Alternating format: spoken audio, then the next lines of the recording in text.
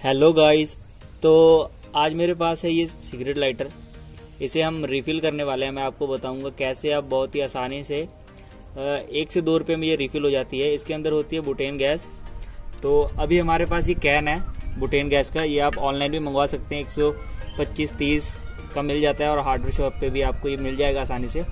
तो आपको दिखाता हूँ कितनी जल्दी और आसानी से जो ये सिगरेट लाइटर है, वो रिफिल हो जाएगा। ये देखिए, ये बिल्कुल ही खाली है। तो अभी इसे रिफिल करते हैं।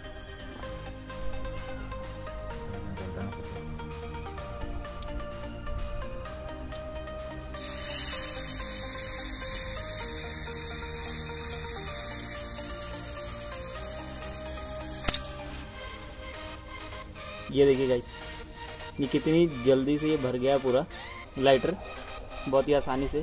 आप ऐसे ही एक कैन से किसी भी लाइटर को 150 से ज़्यादा बार रिफ़िल कर सकते हैं, जो कि बार बार मार्केट से नया लाइटर लेने से बहुत ही ज़्यादा सस्ता पड़ता है। तो अगर आपको ये वीडियो अच्छी लगी हो तो लाइक कर देना, शेयर कर देना और सब्सक्राइब कर लेना इस यूट्यूब चैनल को, इसी तरह की नई नई वीडियोज़ को देखने के लिए।